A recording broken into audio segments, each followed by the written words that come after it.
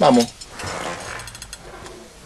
Bienvenido otra vez, Néstor de Non Palidece. ¿Cómo a estás? Mega 98.3. ¿Vos? Muy contento de estar acá una vez más. Bueno, eh, siempre trabajando, siempre moviéndose, no solo ahora en, en Argentina, mucho Latinoamérica tiene Non Palidece, y con activistas, eh, el disco más reciente, ese movimiento es como que se regeneró. ¿Es así?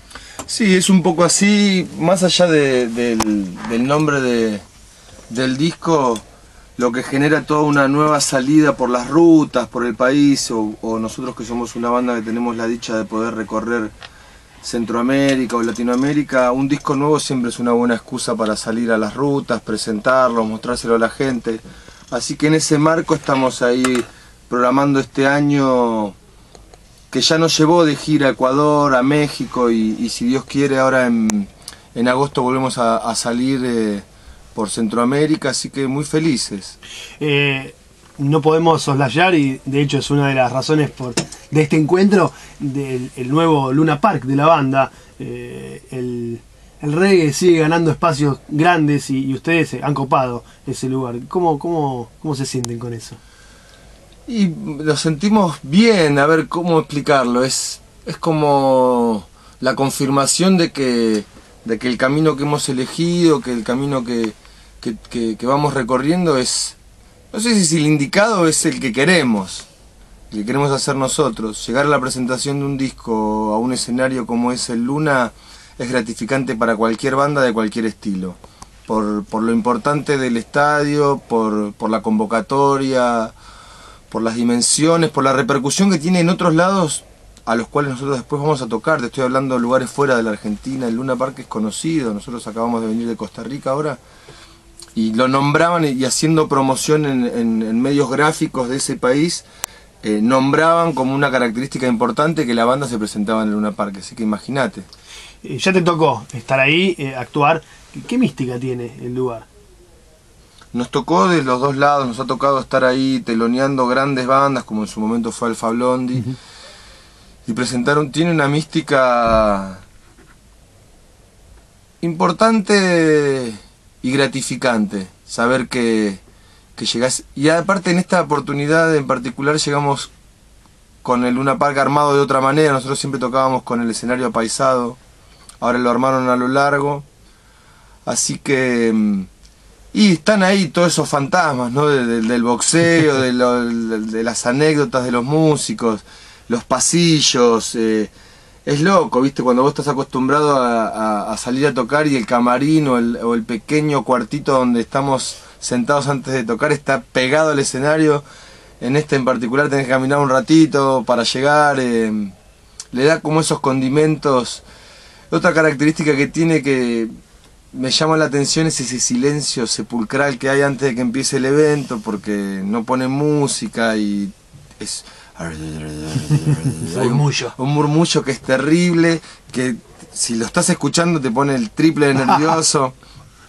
Así que ahí ya contando los días, queda poco tiempo, preparando el show, eh, armando la lista, viendo cómo ubicamos los temas nuevos. En un momento íbamos a hacer todo el disco nuevo y después las canciones de siempre y después nos pareció que no, que mezclarlas estaba mejor.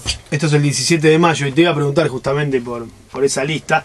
Eh, claro, la discusión, porque a veces decís, bueno, ya a esta altura se supone que los que van a verlos a Luna conocen las canciones. De todos modos, los climas que hay que ir manejando, ¿no? En, un- en un, en un show tan importante. Precisamente, inclusive eh, la última vez que estuvimos en el Luna habíamos armado un set acústico con la intención de darle clima a, a un show que termina siendo largo porque también es la presentación de un disco, eso es un escenario importante, es un show que no dura menos de dos horas y cuarto, dos horas y media. Eh, hemos tenido un récord en una parque que hemos tocado tres horas y media una vez que hicimos un show compartido porque hicimos un tributo a Marley. claro. Bueno, en ese Con show invitados espe- especiales importantes. que estuvo buenísimo. Ese fue un show muy largo porque después también tocamos nosotros como Nompa, ¿no? Eh, en particular esta lista no tiene un set acústico, pero sí hemos buscado diferentes canciones que nos permitan darle como distintas instancias o climas al, al show. Ujú. Eh, eh, que lo que me preguntaba desde que, desde que salió el disco es cuál fue la búsqueda respecto de- del título. Te lo habrán preguntado y lo habrás explicado, pero este, pasó el tiempo, en, un punto los, este, los títulos, las canciones se van reconfigurando y toman otra dimensión. ¿Cómo, ¿Cómo, fue eh, ese activista que salió con una explicación y cómo es ahora? Mira, nosotros empezamos a hacer las canciones y estábamos como muy inciertos en la dirección de dónde llevar el título del disco o conceptualmente cómo trabajar el arte gráfico del disco. Eh, cuando empezamos a hacer los temas empezamos a demiarlos empezamos a tocarlos, yo de a poco, que soy el que escribió en particular este disco, lo escribí todo yo, aunque a veces en otros discos teníamos participaciones de otros integrantes de la banda. Este en particular lo escribí todo yo y cuando fui bautizando las canciones, Activista ya estaba como una canción, es la segunda del disco y habla de un activismo en, eh, positivo en, el humor, en tu, en tu, día a día.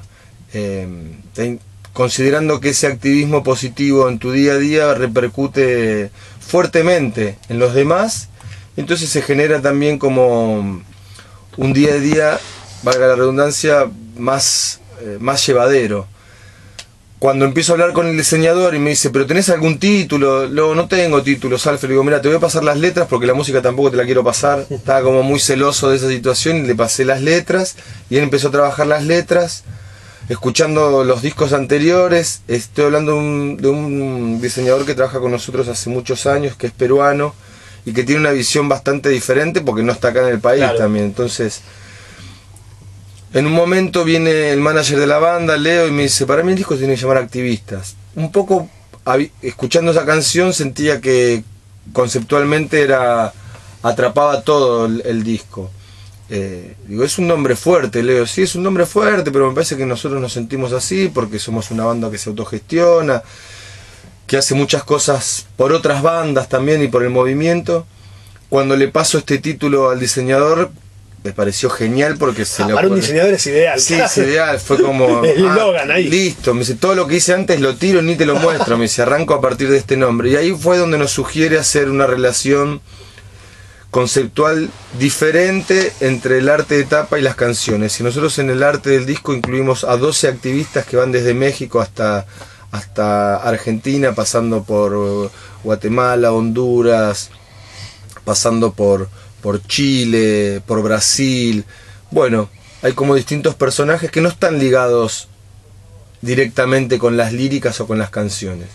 El hecho de hacer un arte de tapa diferente a, conceptualmente a por dónde iba la música tenía que ver con darle un valor agregado a esa cosa física que llamamos CD y que vos quieras tenerlo y leerlo, aunque después quizás las historias empiezan a, cruzarse y hay una relación que puede ser libre a partir de que vos lo escuchaste y lees la, información que hay en ese CD. Hablaste de un activismo eh, propio, desde que, que, pensaste cuando, cuando hiciste la canción, eh, pero ¿qué activistas de los que invitaste a participar te llamaron más la atención o te, este, te identificaron más?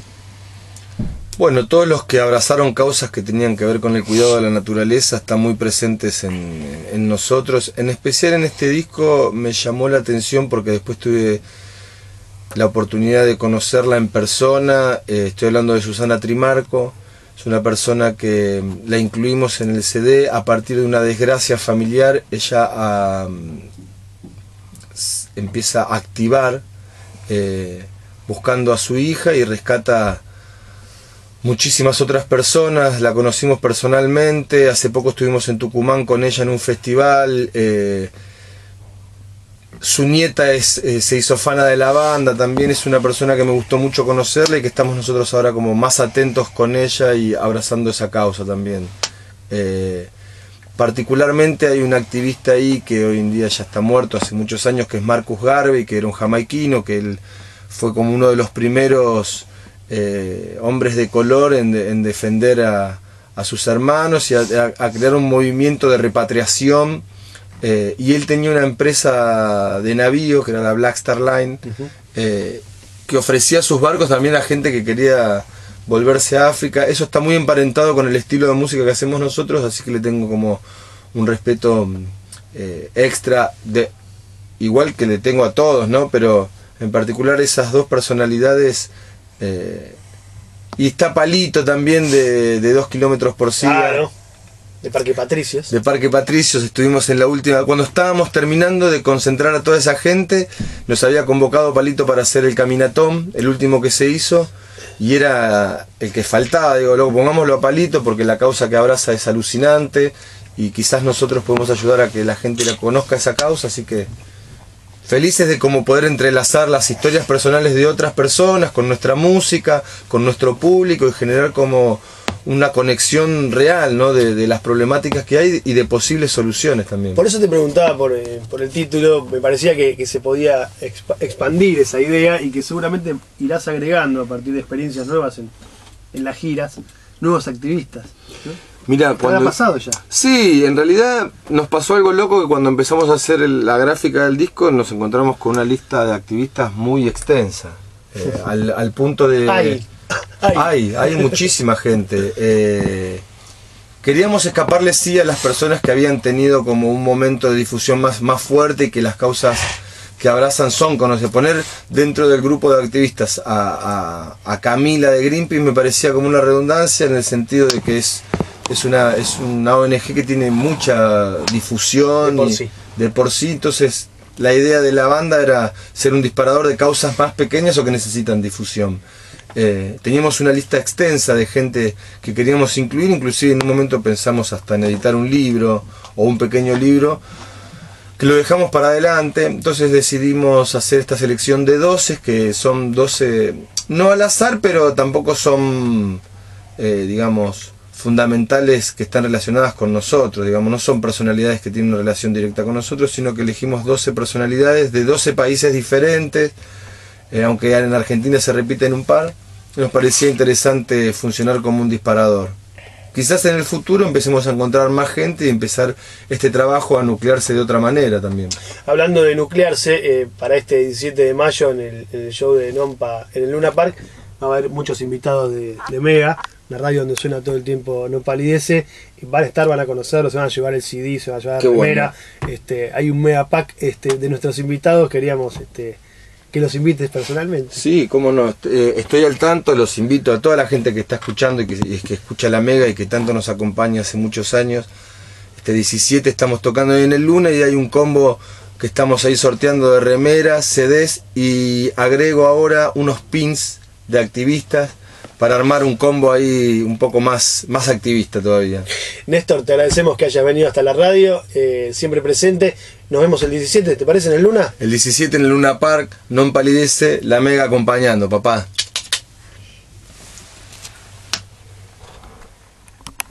Cerramos esto. ¿Hagamos una promo juntos?